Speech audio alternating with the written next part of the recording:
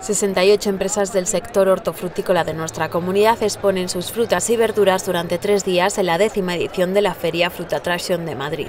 En su inauguración ha estado presente la consejera de Agricultura y Ganadería de la Junta de Castilla y León para mostrar su apoyo a los productores castellanos y leoneses presentes en este pabellón 8 de IFEMA. Estamos hablando de una media en torno a los 500 millones de euros de actividad económica. Estamos hablando de un sector en el que ha crecido más de un 2% la producción en los últimos dos años y un 7% las exportaciones. Por lo tanto, un sector muy pujante que necesita del apoyo de la Administración Autonómica de la Junta de Castilla y León para conseguir eh, nuevas relaciones comerciales, para impulsar esta actividad comercializadora. Milagros Marcos también ha participado en la entrega de premios de apoyo y promoción del deporte Ellas son de aquí, que organiza Manzanas Livinda del Grupo Nufri. Estas eh, mujeres a las que eh, se premia esta tarde, mujeres eh, que están trabajando, que se esfuerzan para tener rendimientos, para que se les valore y darse a conocer. En esto estamos trabajando también, precisamente en el sector,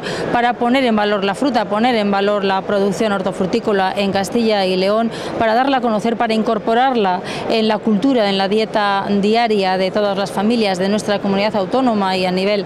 nacional y por lo tanto poner en valor el esfuerzo eh, que hace Nufri, el esfuerzo que hacen estas mujeres y la importancia que tiene el reconocimiento a la mujer en un ámbito como el agrario. En Castilla y León hay 300 empresas dedicadas a la transformación de productos hortofrutícolas que generan 1,4 millones de toneladas al año y aglutinan la mitad de la producción nacional de hortalizas como la zanahoria, el puerro o el maíz dulce.